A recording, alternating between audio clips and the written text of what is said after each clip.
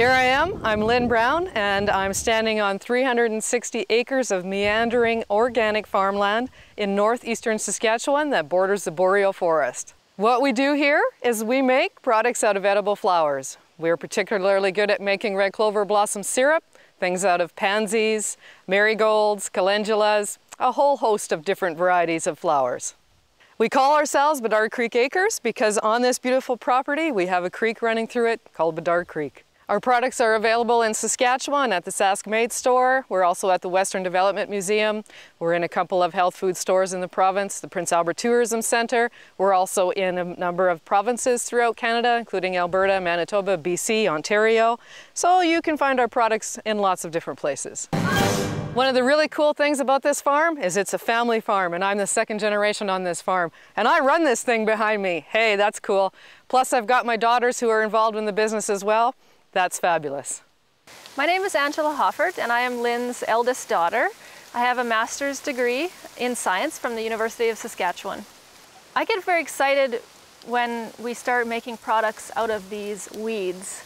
Red clover contains phytoestrogens or isoflavones. Uh, these studies have shown that these can be good for cancer. Uh, also, one, red clover can be wonderful for your skin and your complexion many other things. We try not to focus on the medicinal value of our products though.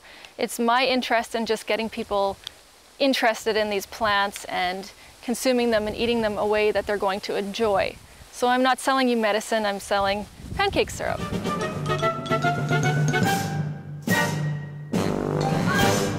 Because quality is one of our biggest concerns, we want to make sure that our product has a high quality and the customer enjoys it. We hand pick everything. We are involved, each one of us as family, so we have our hands on and our eyes on right from the day that this starts to grow in our field and from when we sell it to the, take it to market. Making things out of uh, edible flowers is pretty darn unique to begin with, but the thing that's really cool about the red clover blossom is that it's not made anywhere else in the world commercially. And we take it, we make it into a red clover blossom syrup, which is fabulous any way that you would use maple syrup. So we're like Saskatchewan prairie syrup.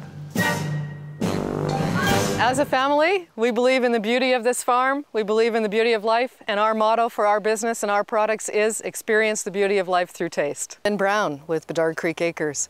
Experience the beauty of life through taste today. Check us out on our website, www.bedardcreekacres.ca.